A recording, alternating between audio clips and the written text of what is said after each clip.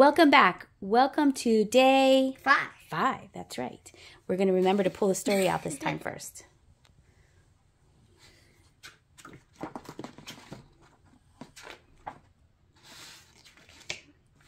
Can we tell? I'm just checking.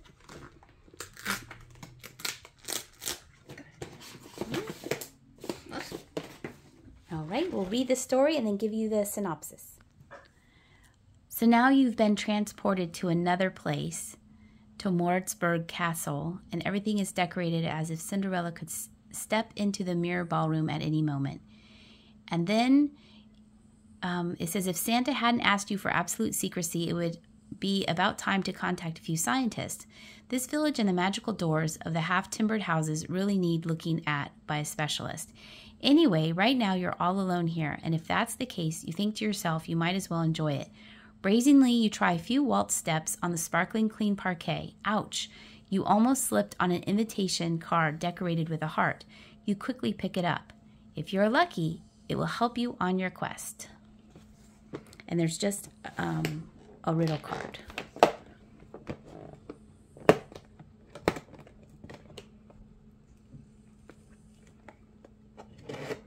Oh wow. Well, that's pretty. Oop. Ah, there comes the lid. There's a mirror. There's a mirror at the door. No, oh, just the ceiling. Okay.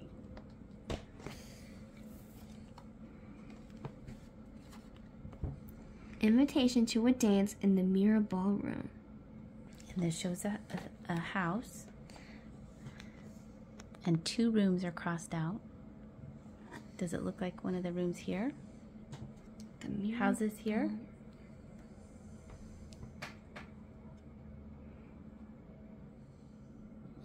I thought at first this drawing of these houses was this, but it's not. It's not the same. And there's nothing in the room. I mean, Yeah, we looked there in is. the, and we looked in the room, and there's really nothing, Nothing. there. And Jenny noticed that mirror was in bold.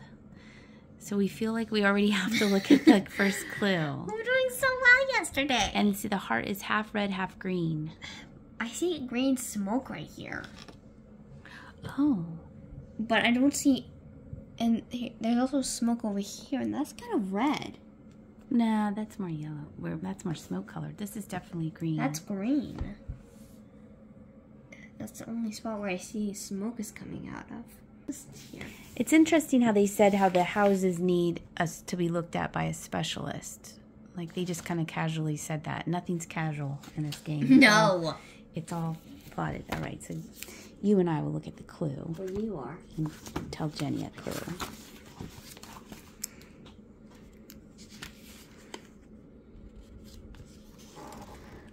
Riddle E card shows you a fancy dance invitation. Sweet. There is even a two tone heart painted on it. The two red crosses are also striking. Is that a picture of a village in the background? Hmm. Isn't that the village you know from the cover of the advent calendar? Oh my! Oh, from the cover. It's from the cover. It's crossed off here And, and here. here. And red and green make blue. No, No, red and green make purple. What did red and green make? nothing makes red and green. Oh. Why would this be red and green? But yeah, I know. Yeah, So and, it's this is crossed out and along with this part right here, and there's smoke coming out and there's a cat. cat. There's, and there's blue smoke there, but there's red smoke. So we're looking here, for numbers. smoke We're look- here. Yeah, there has to be numbers somewhere. Okay, let's Wait, go this Maybe sec- we have to look at a mirror. Let's go to Let's look at this second one. Okay. It shows the village that's on the outside of the advent calendar. The two red crosses mark two places on it that you should look at more closely. There is some impressive craftsmanship involved in the half timbering of these houses. Oh, and why is the word mirror highlighted? Look at the cover in the mirror. They are incorporated into the framework. Do you recognize a message? Frame. Wait, they're incorporated in the in this room. No, on the cover. And I'll let you see what it says rest. Look closely at the details. So we're going to try looking at the cover with this mirror. So there's something that says something here. I'm trying You have to look in the mirror. to. I see And R then, and then look here. There might be something here. What does that say in the mirror? So this, Jenny pointed it on the side. This says books, B O okay. okay. And this is And this says backs, B, point it, B A C K S. The backs of the books? does it mean this book? No, the backs of these books. Wait. Where's wait. your book? Where's the other book? Oh, Oh, here. you have it. Oh, it's the red and green. There's red and green. Now what? Oh my gosh. there has to be numbers somewhere. It has to. Is it? No, that's. Wait a minute. What does the clue say again?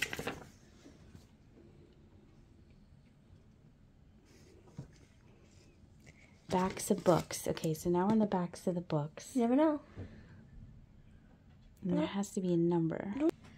So If you read the third clue, then it's like, oh, it's so obvious. Do you see the numbers? we didn't connect them right. Two. Good gosh. Two, four, one. That was hard. We were doing good from yesterday. Let's see. The code is. Two, four, one. this That one? Six. Okay. Six. Let me double. Yep. Darn it. That was hard. Okay. So what did I thought it was this picture? So we did need to know. I didn't even think it would be on the cover. Neither. And then you had to know to look at these two that are crossed off. You would have to know to look at there We needed. in a mirror. I I guessed the mirror part. yep. The a part I guessed. Ah, that was hard. For those of you who are wondering, Jenny and I went up to Shillington and we were at the Shillington Goodwill. The last couple times we were here, we really didn't find anything, and so I told Jenny, maybe we'll stop going here because it's it's a little bit of a drive. Gas is still on the expensive side, and if I'm not finding anything, it's not really worth the time and money to get there to not find anything. But it changed my mind because we walked away with quite a few things on this trip. Right now, I'm in the beginning, the front of the store, and this one area was really empty. So I don't know if they were transitioning, putting things onto those shelves and they hadn't got to it yet. But on the other side of the shelf, they had a whole bunch of floral vases. Look at this. Look how pretty this looks. I thought this was really pretty. All the different colors, how they have them uh, arranged. I thought that jug was funny how it said thirsty on it. Someone had put some artwork here with some reindeer antlers. So I was seeing if that artwork was anything that really grabbed my attention. And then I stepped back to show you. Look how pretty. Oh, it's so pretty though. Oh, I might take a picture of that. Here's all the Christmas stuff. Look at these girls. You had me at meow. What'd you find? Aw, who's that? I have no idea, but it's adorable. It is adorable. Jenny found the cute thing. I could tell that this jar had quality by the weight of it, and also the design reminded me of Lenox. And then when I flipped it over, it in fact was Lenox. This Lenox is more contemporary. It is made in China, but I thought this was really sweet. It does have like a ring on the bo- the bottom of the lid, so it's airtight, so your cat snacks don't get stale. And that there's there's no chipping on the fish, which is a small miracle in itself. You need a um, Christmas tree holder Five. for your Christmas tree. One, two, three, four, five. Good counting, Jenny. Hmm, who's your teacher? Let's see, and underneath the plates was oh, those are from Target. And this is cute too. Look at with the little angel girls. That's oh, it's um party light. Oh, that's sweet. I might look that up too, because they all have their wings. So we'll look at those. Let's put them in for now. Let's see what else. There's a lot of stuff on here. Oh, here's a wooden. These are some candle huggers. They're not very old though. That's just the end cap. Let's see what else is over there. It's a dog in the light. Jenny's gonna keep her eye out. She found this cutie pie. I have no idea who it is, but she's adorable. Look, you can have three staring Christmas carolers. Freaky. Look, move out of my way. They're like right on top of each other. That's so funny. They're only $1.99. They were made 1972. If you kind of tone down their staringness, they wouldn't be that bad. Looks like it's taste temptations, tastestations. It is temptations. It's only $3.99. There must be something wrong with it.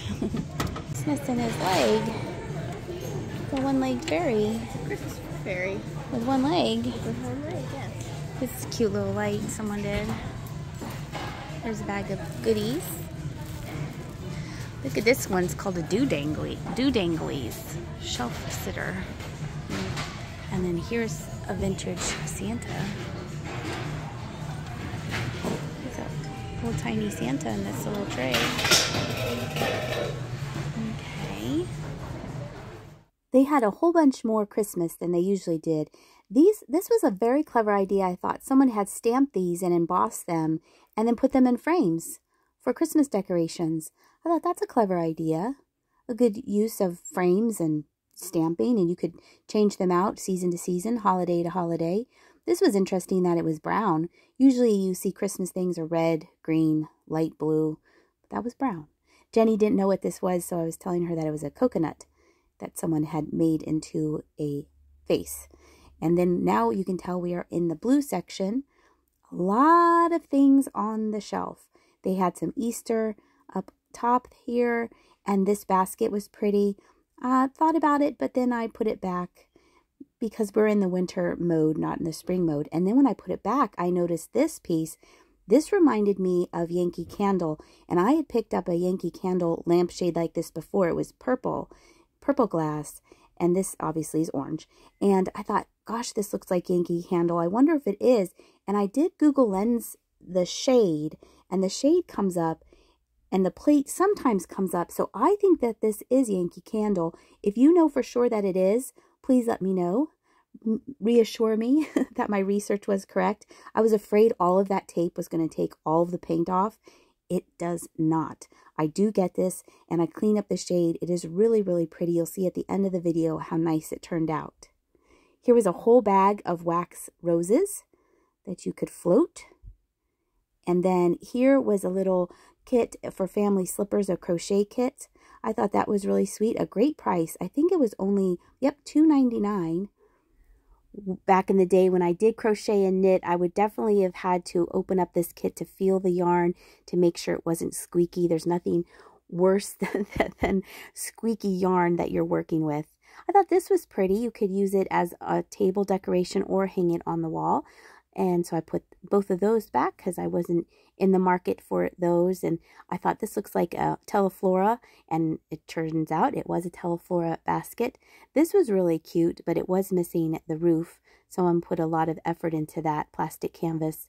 You could put napkins in it, is what I'm telling Jenny. You could still use it, even if it was missing the roof. Whole bunch of teddy bear mugs. And then we had just seen this. We just seen this the other day. Bruno. Oh, Jenny, we don't talk about Bruno. No, no. oh, we don't get the long from that. no. I'm not that good of a singer. I thought that was funny because when I looked at the set at the other Goodwill, I didn't even look at the name of the ringmaster. So his name is Bruno. I thought this was cute, very vintage. It looks like she's going to go out horseback riding with that hat. And then here's another purple hobbyist piece girl with hanging down things. I don't know, maybe she held salt and pepper shakers. I'm not quite sure. Here was another Yankee Candle shade with the plate. But I'm pretty excited about the Halloween one because the Halloween ones sell for pretty good money. Then I thought, well, this looks like Laurel Burch. And then I flipped it over and it is Laurel Burch. It's a cat bowl, a cat or like a food or water bowl. And I found similar ones with the cat faces, but I can't find the ones with these cat angels. Now the paint on top was obviously almost gone. So when I brought it home, I did take the rest of that paint off and I think it looks pretty good. And inside it, that, that inner bowl is a Hall, H-A-L-L, little ramekin. So win-win, two for one. So I decided to get that because Laurel Burch is pretty popular and I thought it was it would make a cute little trinket dish or you could use it for your cat or very very tiny dog. $3.99. It's a pretty bowl. Oh, those are plastic. I thought they were glass. Oh, there's another doggy. Hmm. Does that go with the other dog? Oh, okay. Look at the end cap here. Oh, that is giant. $6.99. It has a home goods thing. Oh, here's a child's plate. Little Miss Muffet. That's sweet. Royal Bayreuth, Bavaria. That's sweet. It has a lot of wear right there.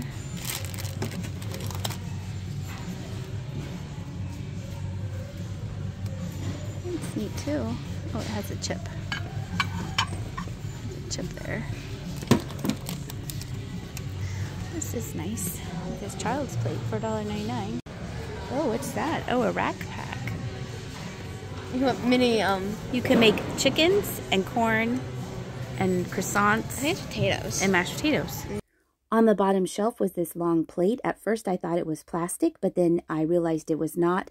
I like the colors that they chose for the eagle. On the back of it, it was marked made in Italy. I thought that was a neat looking plate.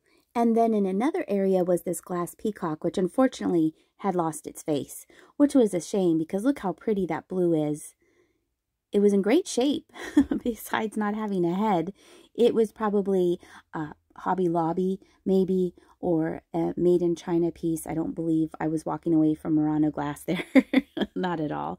But it was a shame that it had a big chip on it. Here is a look for you at the red section there was a see how there's a lot of things on the shelves but uh, not a lot of things that i am looking for these were neat they were they had bundled these they were glass so they weren't pricing them individually which was nice. And then here's a look at the pink section behind us.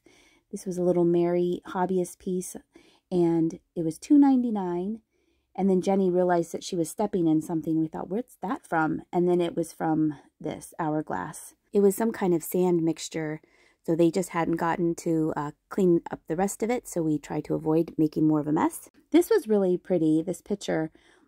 It had a contemporary barcode sticker on it, but I thought the design on it, it had kind of that Rae Dunn look of how it wasn't smooth, but I thought that bird was very, very pretty. But I didn't uh, pick that up. And then here I'm just being nosy and checking everything out on the shelves for you, since you're not here to flip things over with me.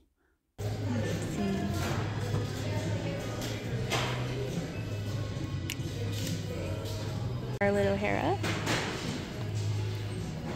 We got Scarlett O'Hara.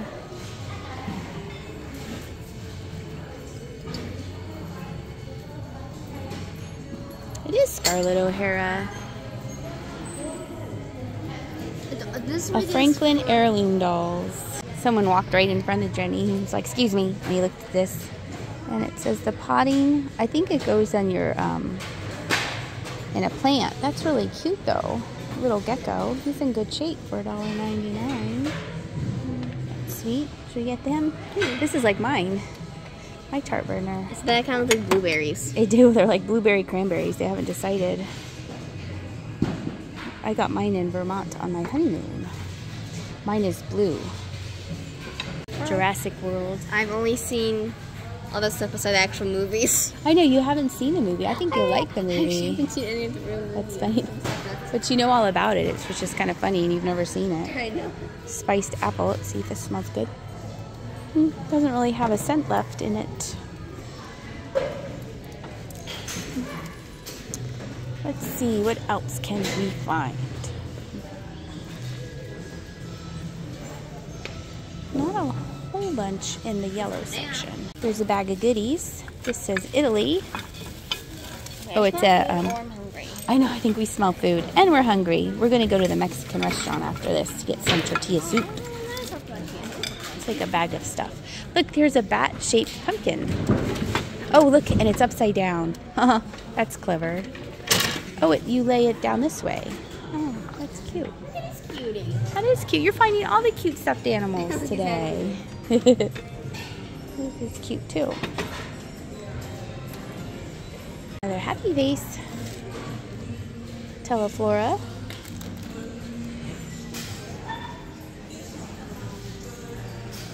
Oh, it's like a hat my grandpa would wear.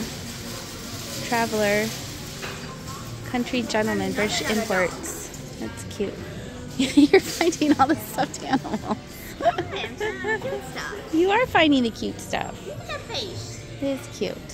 The priceless princess. I've looked at these before and people say these are for toothbrushes. These aren't for toothbrushes. These are for flowers. I guess if you're from a big family, you could use it as a toothbrush holder, but it is not a toothbrush holder in my mind. I'm finding all the cute stuff. You are. You're finding all of the cute plush. Here is a set for $11.99. You get all of this. I wonder who makes it for $11.99. It's not marked. Get all that. Are these birds? Or wheat? Not quite sure what's going on there. Here's a whole bunch of cherished teddies. And then that kind of looks like a wreath. I guess this is a wreath. Is this Fitz and Floyd? It is Fitz and Fitz and Floyd. $9.99. That's in good shape for Fitz and Floyd. Too big for me, but that's really pretty. Here's a goose. It says I love you. And a hat. Is this a wall pocket? I think we've looked at this before and I was confused before what it is. What's down there in that bag? Oh, it's um, yarn for hook, hook rugs.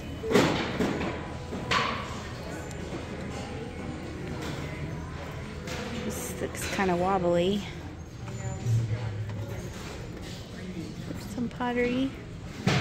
It's like a student piece. Pineapple. This dog looks sad that its owner's head has become decapitated. Counts this roost, these roosters are on fire.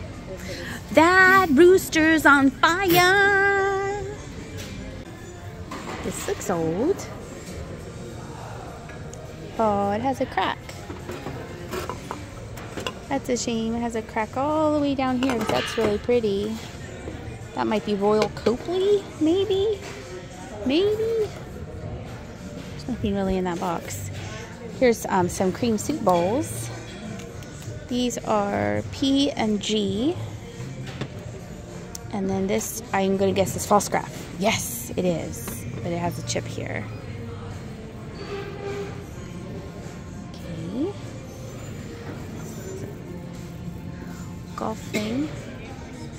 Wanted that, but it has a crack.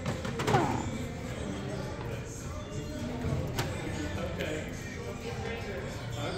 Another dolly. Oh, that's sweet. Is that? Oh, it's a dog. I didn't quite see what that was. It's a heart. That's cute.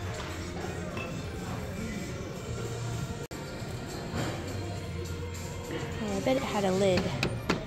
I bet this had a lid. I bet this was like a garlic keeper or something. There's a record player. Kid's head fell off. Oh no. Aw, that's so sad. That's kind of funny. It's a little funny. laughing. It's a little funny. It's a neat old uh, record player. Oh, and your records. All the records. Hmm.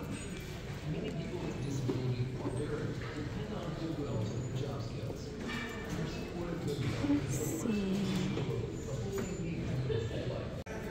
We were just there. Cape Cod, Massachusetts. No, I just, I Oh, it has a big it. chip. I want I-. Don't school. I'm done. Yeah, Jenny was just learning again about it. It has a big chip on the back there. Right there. That's kind of a neat trivet. Oh, look at this puzzle. That'd be fun. Windmill puzzle. There's some uh, movie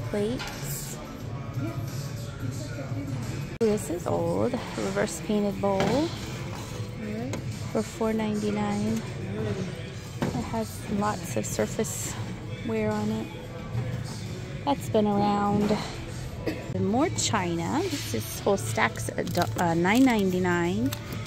And let's see who makes that. That is the Gallery Collection.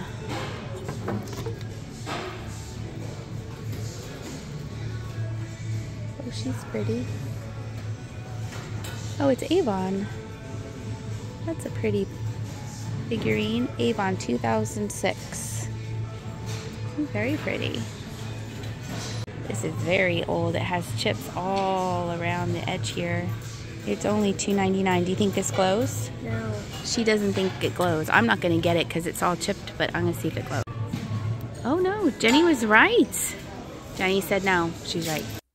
And the last thing that I picked up was this pottery piece, and it was marked on the bottom. And at the time, the name didn't seem very familiar to me. And then when I got it home, I thought, wait, this does sound familiar. So I put it in the good old uh, WorthPoint app. And this is the same maker as those hand warmer mugs. I'm going to insert a little footage of the hand warmer mugs that um, you've probably seen before. I've picked them up before. I think they're really neat, the style of them. But I thought that that was neat that I picked up a crock or a jug or whatever you want to call this piece. This is going to wrap up our trip to the Shillington Goodwill. I hope you enjoyed our shopping trip. And like I said, because I picked up things, of course, Shillington is still going to be in our shopping rotation. Thank you so much for watching this video, and I'll see ya!